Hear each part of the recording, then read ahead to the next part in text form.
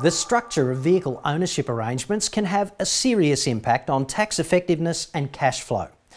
You should revisit this issue every few years because the goalposts keep moving. The rules change and financiers develop new innovative products.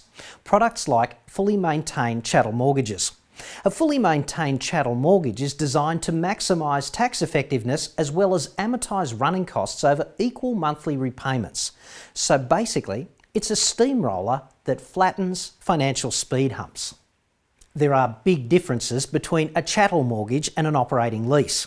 With a chattel mortgage, you own the vehicle and the lender takes a mortgage over it. That means you get to claim all the GST on the purchase in your first BAS. You also claim the depreciation and interest, so it's a very tax effective arrangement. Obviously, those deductions are for the proportion of business use only. You can't claim the personal use component. Governments are funny like that.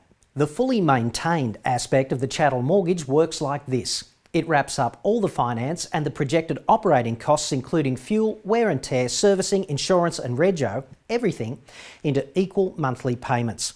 It's like a budget worked out for you in advance.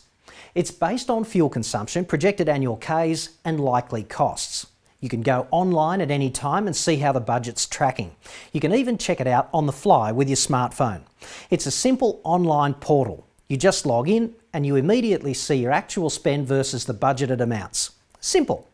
As the owner, you retain complete choice when it comes to where you buy the fuel and insurance and who does the servicing. You're absolutely not locked into particular providers. A fully maintained chattel mortgage even simplifies your bookkeeping. In small business, record keeping is a nightmare. If you lose just one receipt, you could easily blow a several hundred dollar tax deduction just like that, gone. With this system, those records can't be lost and they're dead easy to collate at tax time. To find out more, fill in the inquiry form over there on the right.